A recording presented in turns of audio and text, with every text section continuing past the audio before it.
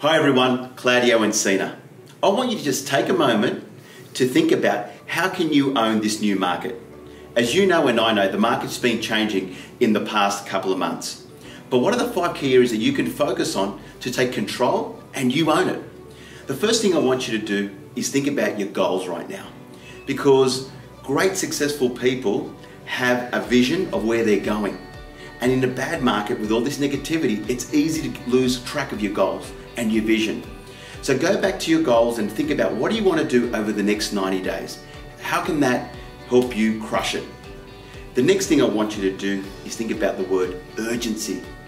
Good agents in changing markets change the pace. They set the pace and they set the tone. That's what leaders do, and you're a leader. So you've got to set this pace right now. You've got to work with some really good urgency when you're talking to your people and really start to create some action.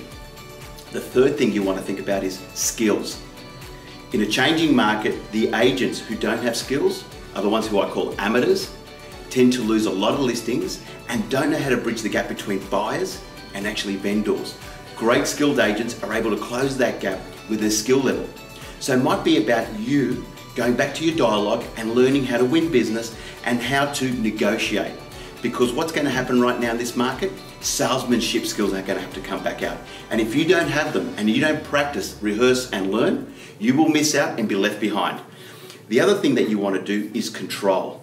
That word control is about controlling your vendors' expectations in this marketplace and also your buyers' expectations.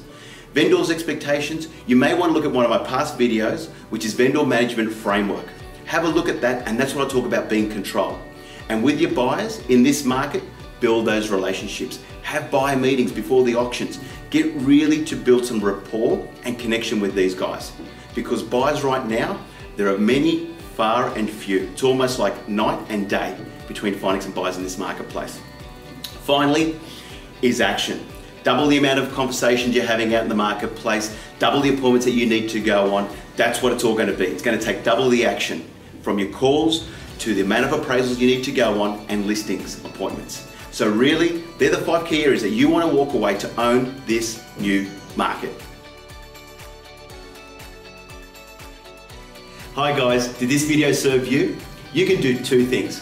You can subscribe to my YouTube channel or go to claudioencina.com.